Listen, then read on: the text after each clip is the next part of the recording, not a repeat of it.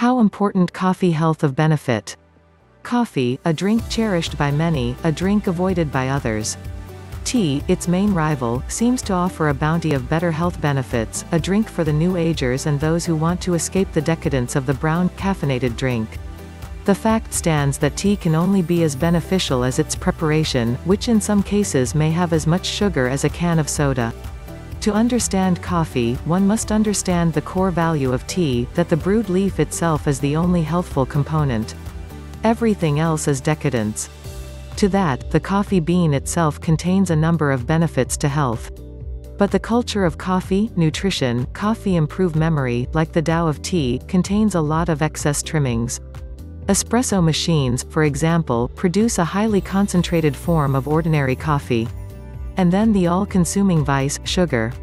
Along with cream, sugar waters down the benefits of coffee, where it turns the brew into drinkable candy. But all of this remains unchanged from tea. The bean is the important part.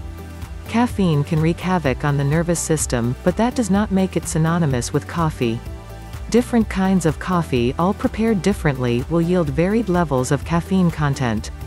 Serving size also comes into play. To those sensitive to caffeine, the obvious alternative can be found in decaffeinated coffee. But such an alternative could downplay the positive effects of the drink. Coffee is rich in the B vitamin niacin, and in recent studies has been shown to have antioxidant-like effects on the body by eliminating free radicals. As a caution, these benefits only arise with a balanced drinking habit.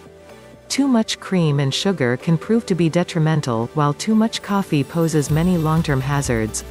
While coffee may provide the B vitamin niacin, it in turn restricts the body from other vitamins. And depending on the brew, coffee contains acids that have been linked to stomach ulcers. Symptoms like these may sound off-putting, but they exist only in the long run for an abusive drinker. A daily cup poses no threat to the average person.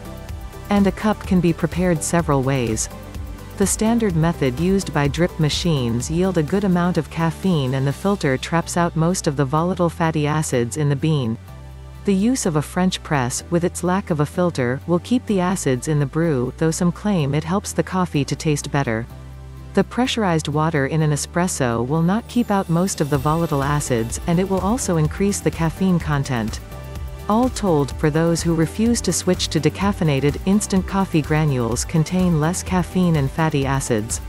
Compared to their quality cousins, instant coffee should satisfy the balanced drinker. This along with less cream and less sugar, can make for a risk-free casual cup of coffee. How important coffee health of benefits good for you.